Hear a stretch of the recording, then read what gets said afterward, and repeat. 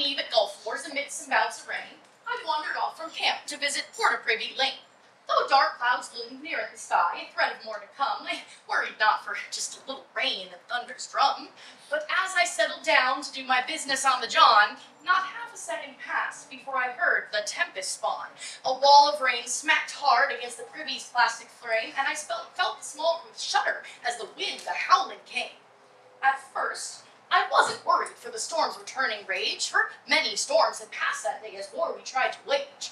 But as the howling increased and the rocking winds began to shake the privy where I sat and tried to use the can, the rain began to penetrate the fence up near the top, and I shook as chilly rain upon my skin began to drop. The privy shook with violent force and rocked me by core, and I thought, now might be time to bolt out the privy door. As this thought came to me and I prepped to face the storm, a loud and thumping racket told me hail became the norm.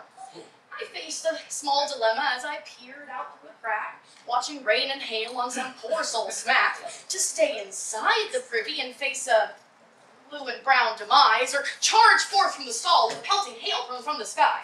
The privy shuddered harshly and forced me to decide that safely in its plastic I could scarcely longer bide. I threw the door wide open and into the tempest ran, with little time to contemplate a newer safety. But Lady Luck was with me as the rain abruptly stopped as a wind gust on the privy door behind me sharply knocked. And quickly was I soaking wet amidst the pounding rain as I hurried back to camp down the path by which I came. The story was not over as the winds increased in time, but that is for another story and another rhyme.